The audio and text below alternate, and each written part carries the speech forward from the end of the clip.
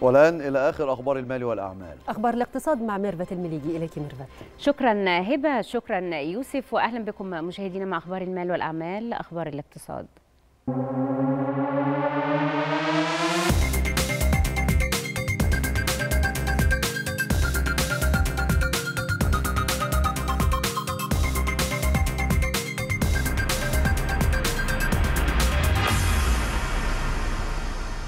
أكدت وزارة البترول العمل على زيادة الاحتياطات البترولية من خلال طرح المزايدات العالمية وتكثيف عمليات البحث والاستكشاف بما ينعكس إيجابا على زيادة معدلات الإنتاج المحلية.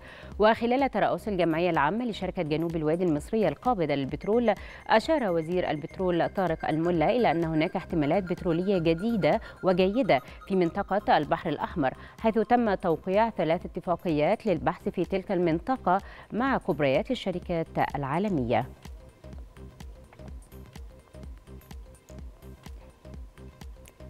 أكد وزير الدولة الإنتاج الحربي محمد صلاح أن مصر بذلت جهودا عديدا عديدة لجذب المزيد من الاستثمارات الأجنبية وعقد شراكات مع مختلف الدول وقد جاء ذلك خلال استقبال السفير التشيكي بالقاهرة بهدف بحث آليات تطوير التعاون المشترك بين الجانبين وتعزيز أوجه التعاون المشترك في مجالات التصنيع العسكري والمدني.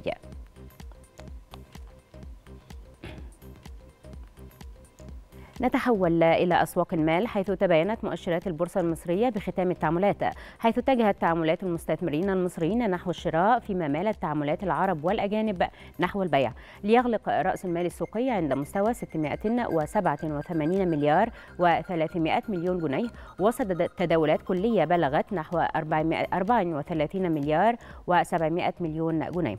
أما على صعيد المؤشرات فقد فتح مؤشر EGX 30 منخفضا بنسبة 68 من 100% وفتح عند 9895 نقطة وأغلق عند 9827 نقطة. كما فتح مؤشر الشركات الصغيرة والمتوسطة إي جي إكس 70 عند 2209 نقاط وأغلق عند 2243 نقطة مرتفعا بنسبة 1.56 من 100% وفتح مؤشر EGX 100 أوسع نطاقا عند مستوى 3140 نقطة وأغلق عند 3176 نقطة مرتفعا بنسبة 1.15 من 100%.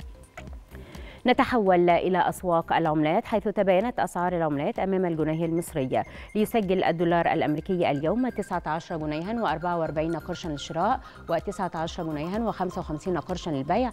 اليورو 18 جنيها و74 قرشا للشراء و18 جنيها و86 قرشا للبيع. في حين وصل الجنيه الاسترليني إلى 20 جنيها و97 قرشا للشراء و22 جنيها و10 قروش للبيع. وأمام العملات العربية فقد سجل الدرهم الإماراتي اليوم 5 جنيهات و29 قرشا للشراء و5 جنيهات و32 قرشا للبيع في حين وصل الريال السعودي إلى 5 جنيهات و17 قرشا للشراء و5 جنيهات و20 قرشا للبيع. نتحول إلى أسواق المعادن النفيسة حيث انخفضت أسعار الذهب لأدنى مستوى لها منذ عامين ونصف العام متأثرة بارتفاع الدولار وكذلك عائدات سندات الخزانة الأمريكية. فقد سجل المعدن الأصفر اليوم 1641 دولار للأوقية.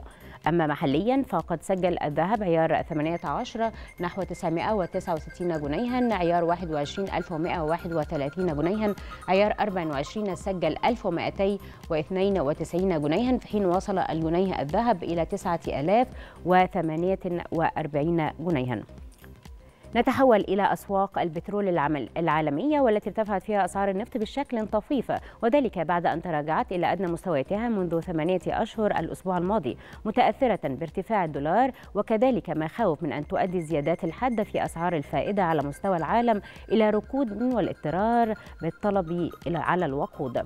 وقد ارتفعت العقود الآجلة لخام برنت بنحو 2 من 10% ليسجل 86 دولار و32 سنتا للبرميل. أيضا أيضا خام غرب تكساس الوسيط ارتفع بنسبة 3 من 10% ليسجل 78 دولارا و95 سنتا للبرميل.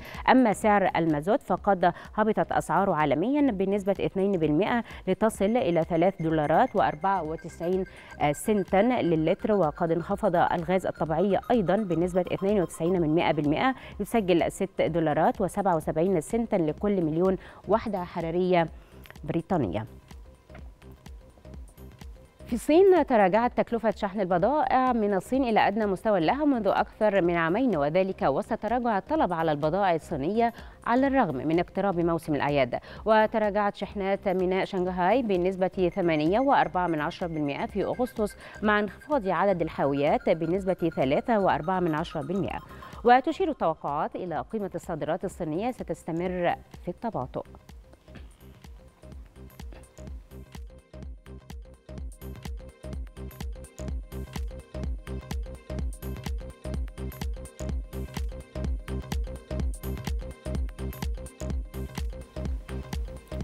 نهاية أخبار الاقتصاد وعودة لهبة ويوسف إليكم. أشكرك ميرفت.